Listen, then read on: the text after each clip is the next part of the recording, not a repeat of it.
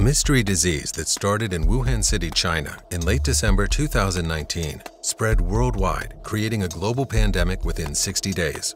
This virus infected over 3 million people, taking more than 200,000 lives by April 2020.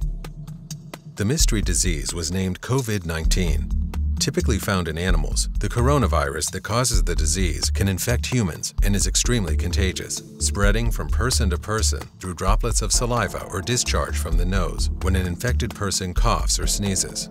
A coronavirus typically infects the lining of the throat and airway, making its way down into the lungs. In most patients, the symptoms are mild, including coughing, fever, headaches, and body aches. In a smaller percentage of patients, including those with pre-existing health conditions, the disease can be more severe, including acute respiratory disease, pneumonia, or even death.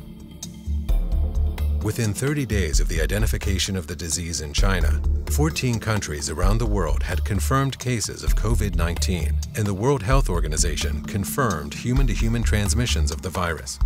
By the end of February, 45 countries had identified coronavirus disease infections, and the World Health Organization raised the risk of COVID-19 spread from high to very high. By mid-March, the number of cases had surpassed 100,000 people in over 100 countries when the focal point shifted from China to Europe, with Italy and Spain becoming the epicenter. The director of the WHO declared the global COVID-19 outbreak a pandemic in early April, the number of cases surpassed 1 million, with close to 100,000 deaths worldwide. On April 11th, the United States recorded over 2,000 deaths in one day, the highest death rate of any country during the pandemic. By mid-April, the number of COVID-19 cases had surpassed 2 million. Around the world, a surging number of patients requiring treatment for coronavirus began to overwhelm healthcare systems. With a limited number of intensive care beds and ventilators, countries turned to every imaginable source to procure medical equipment and supplies. Some began restoring abandoned hospitals, while others resorted to pop-up field hospitals.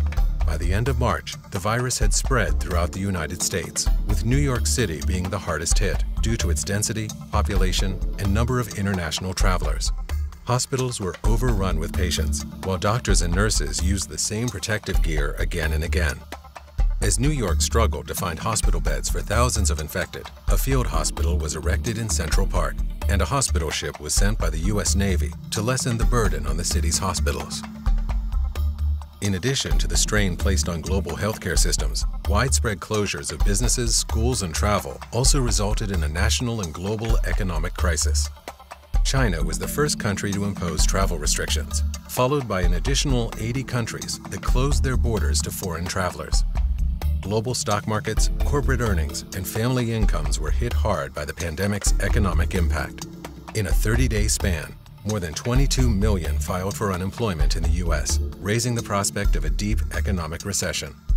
By early April, the global economic impact of COVID-19 was estimated to be between $2 trillion and $4.5 trillion, and there were still no signs that the pandemic had reached its peak.